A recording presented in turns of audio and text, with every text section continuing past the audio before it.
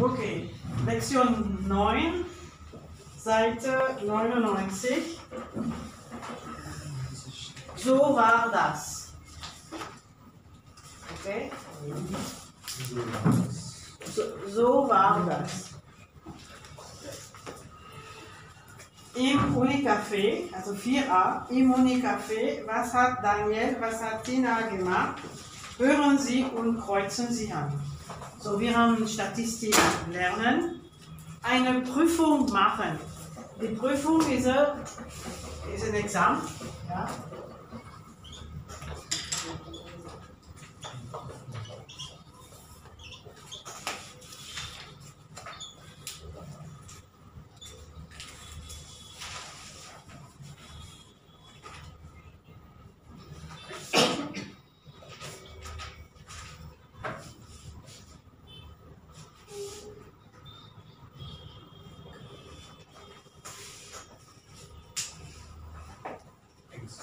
Fußball spielen, in der Bäckerei arbeiten und im Studio trainieren.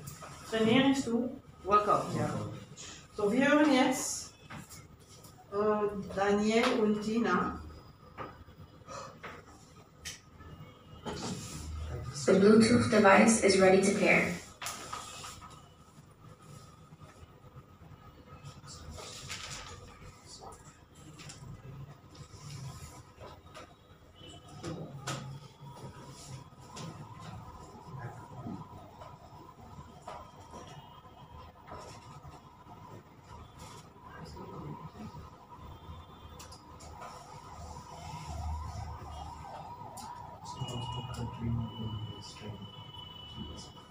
Aufgabe 4a.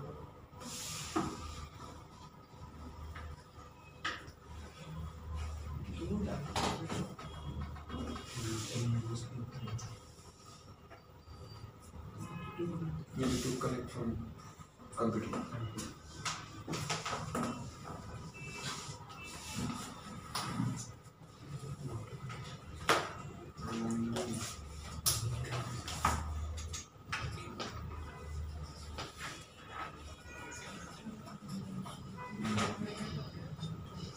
Daniel, du bist ja immer noch an der Uni.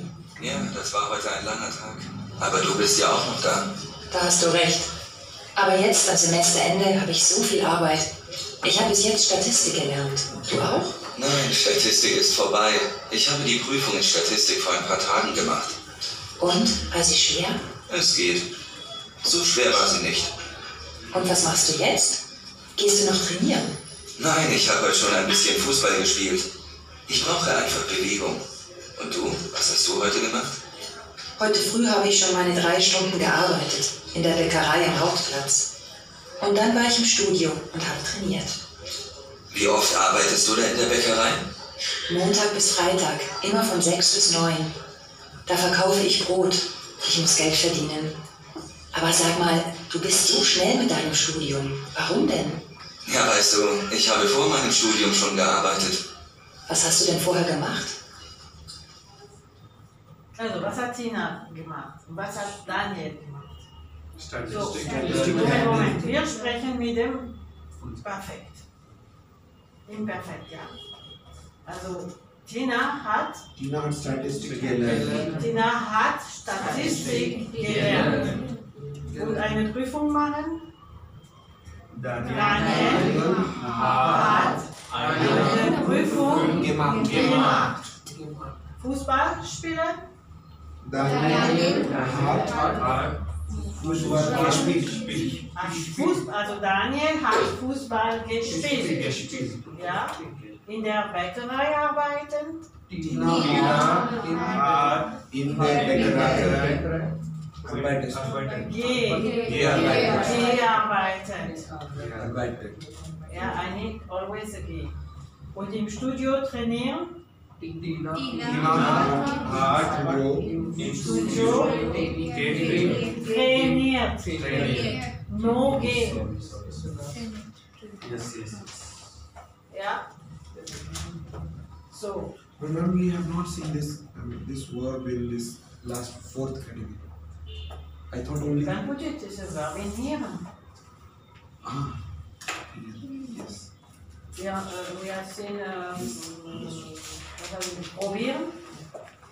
We have seen, uh, what have we given you? Trainieren, ja? Passieren. No, passieren, das ist exception. We have three verbs. Sein, bleiben, passieren. They have with the verb to be. And the other one in ehren, like Probieren, trainieren, trainieren. they have the verb to have. Okay? We have fotografieren. Ich habe fotografiert. Also most of them have haben. Only passieren is with them. Ja. So, also wir haben understood that. Wir gehen jetzt zu 5a. Was hat Daniel vor dem Studium gemacht? Hören Sie und ordnen Sie zu. So, try to do it by yourself. And then we will listen to the audio. You have to always take care if you have haben or sein in the first part. So if you have haben, it can be an accusative verb or a remaining verb. If you have sein, it has to be a verb of movement. So see your verb at the end in the participe 2. What do you have?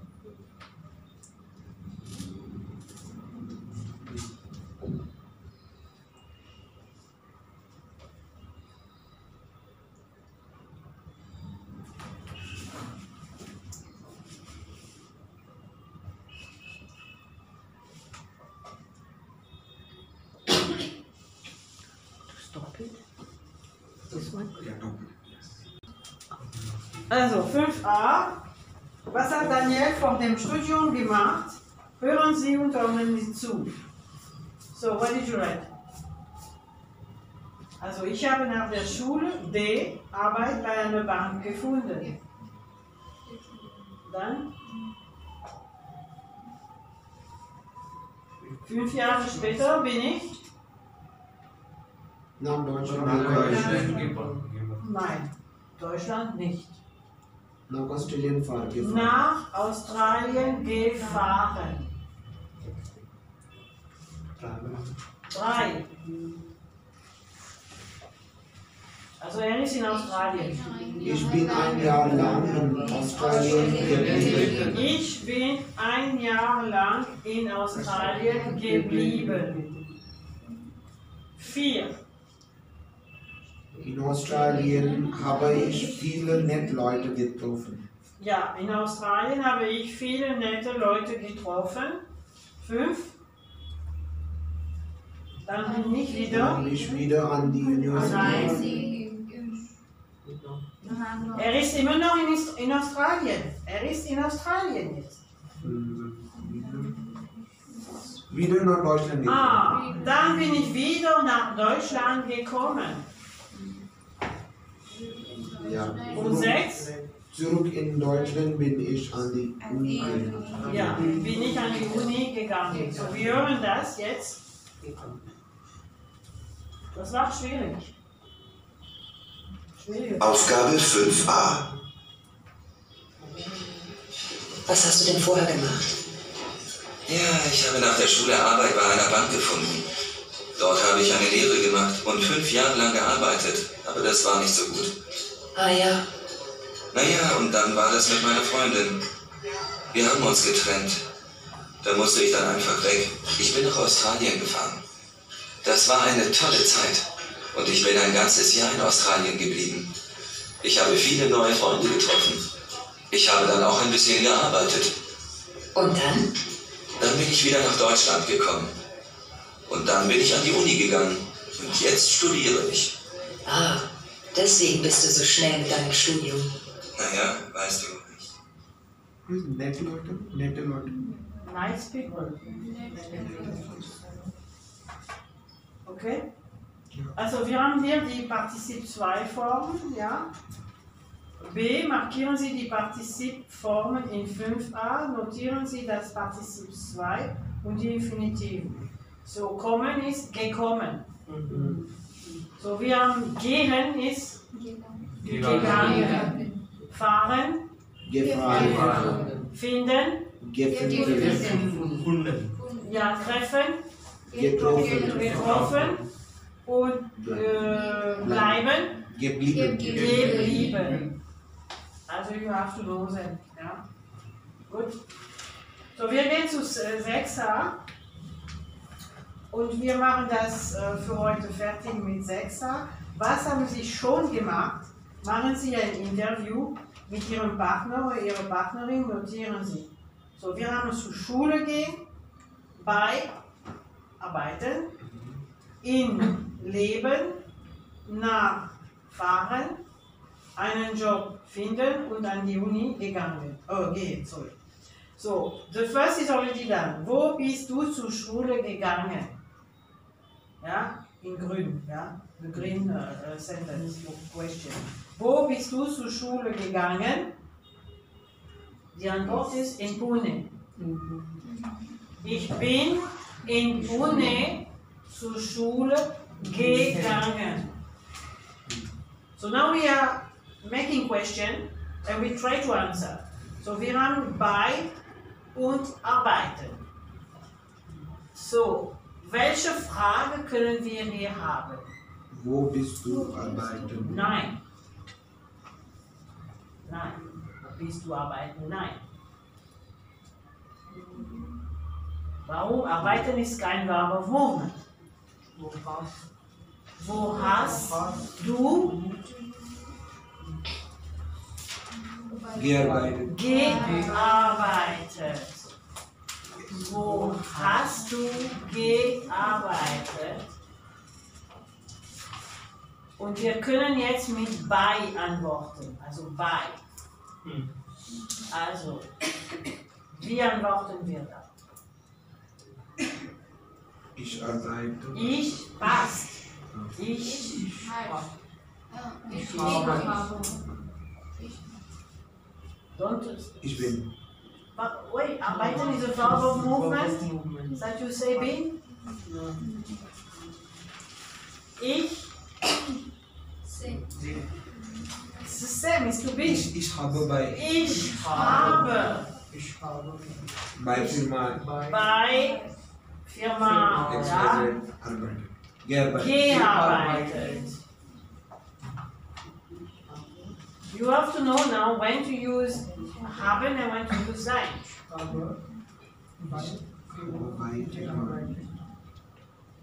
Gearbeitet.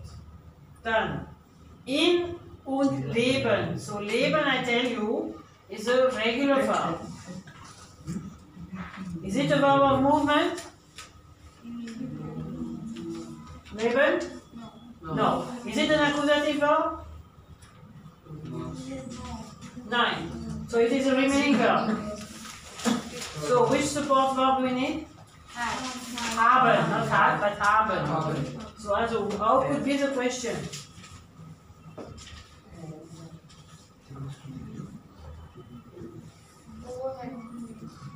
Wo, Hast du wo hast du?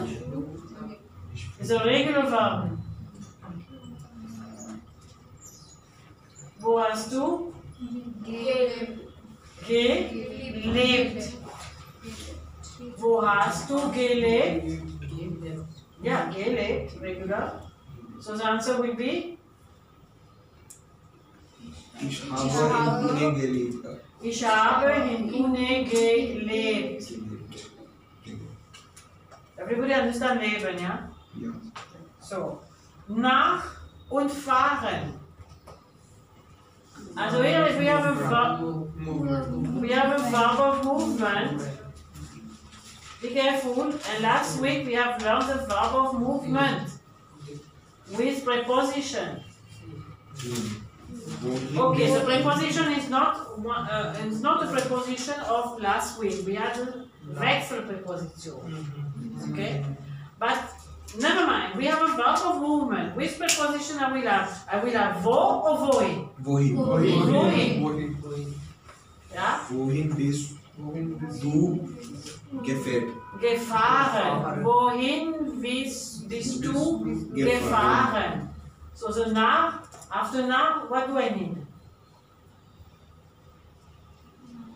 I have told you so many times. Ich bin Nach? Zu. Wait to. We have nach. So you are restricted with nach. Not. Uh, yeah. We need a preposition. No, the noun is a preposition.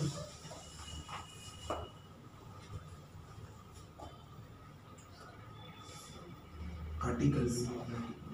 No, nach cannot have an article. This is a this is a point. When do you use nach with fahren or gehen?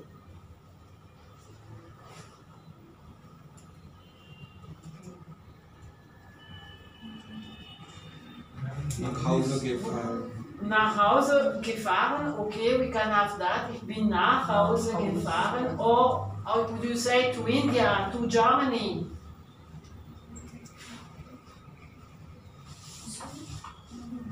Nach.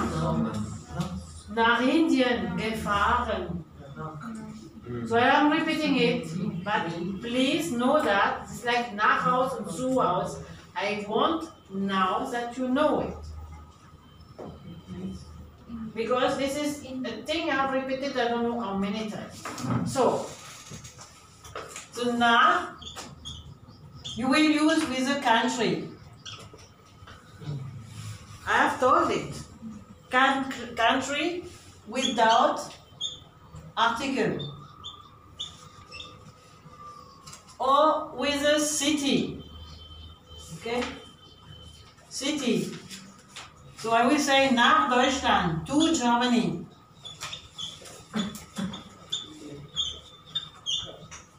And city nach Mumbai.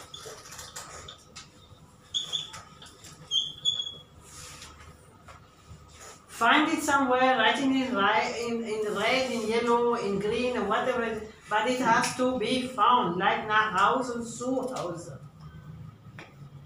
Yeah. This is when you use a nach. So now you have countries also with articles. What will you use here? You cannot use that. Then you will have the in.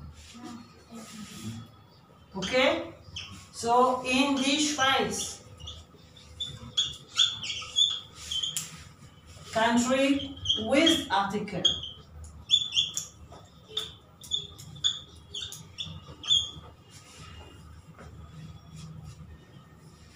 And that has to be known now. For everyone we need it. Ich fahre, oh, ich bin in die Schweiz gefahren. And you have to know when to use wohin and when to use wo. When we have a verb of movement, it will be always wohin. When we have a verb of stationary position, it will be always wo. And we have seen that last week. Yes. Independently now from the Wechsel preposition. Okay, let it be your side. But verb, movement, wohin, stationary position, wo.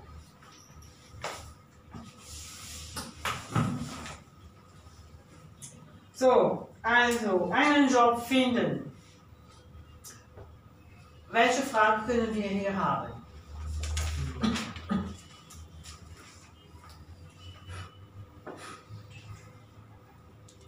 Hast du einen Job gefunden? Ja, hast du einen Job gefunden? Gefunden. Ja, ich habe einen Job gefunden. Oder was hast du gefunden? And we can put in the answer einen Job. Was hast du gefunden? So, how do you answer that? Ich Ich habe einen Job gefunden. einen Job gefunden. Und an die Uni gehen, so this is the same as zur Schule gehen, we can have it here.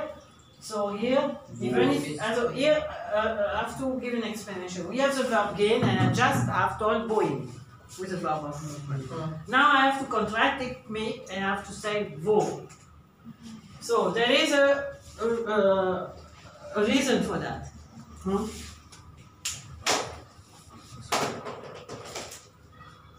So, wohin bist du gegangen? Ist clear.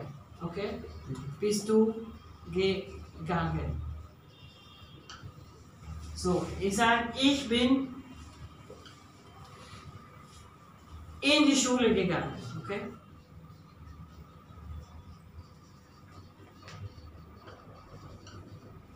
But I can also ask, wo bist du?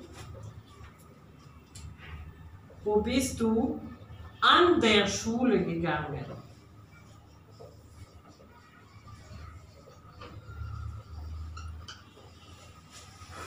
So here you will have A to B. This is very important that. That has to be here for the void. Yeah? But if I ask now, wo bist du an der Schule gegangen? It will be if I say, ich bin in Pune an der Schule. Oder an die Schule, sorry. An die Schule gegangen. Ja, oder an die Uni, an die Schule. An die Schule gegangen. Gegangen. So if I have Pune, it is A. Yes. It is a city. This is a place, one place. And so you have to see what the answer will be. If you will have a verb, a movement, as so you are here and you go there, you will have a wohin. Okay? If you have the look, as a punctual location, you will have wo. Here we can say it is a, almost like uh, like last week we have the in. And the in is a vexed preposition. Okay? Yeah? Here we have the accusative. Remember last week? And here uh, we can have we have to tell Pune is a, a dative. Even if we have gegangen. This is a tricky thing, yeah. I know it. For you it's a tricky thing, yeah. Uh, the most important than Pune, it is A. You don't go from A to B. So I have to have vo. Even if I have a verb of move. But I remain in the city of Pune. So where did you go to school it is? Mm-hmm. Okay? In Pune. In Pune. But here it is, where did you go? Where to did you go? I go, I went to the school. Or I have gone to the school. Mm-hmm. So I was here and I go there. So this is a tricky thing, yeah. Uh, I wanted to have told it. And so when you change location, you will have going. When you don't change location, you will have, uh, even if you have a of. We go, we go to school in a city normally, yeah? We cannot have another verb, a verb of session position. I cannot have. I have to have a verb of movement. Right? So, and you will have an, dative. This is a dative. So.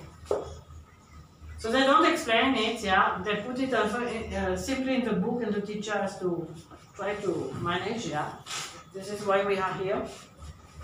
I hope you have understood. Wohin is always related to a movement like that. Wo is always when the movement doesn't exist.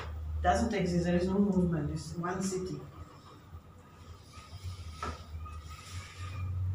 So when you learn German more and more, you will come, you will understand it. And you have to understand it. But now it's uh, only uh, verb of movement. We will go in verb of in position. We will have go. And this is very restricted. But there are so many other possibilities. Yeah. Okay. Okay. We stop it for today. Huh?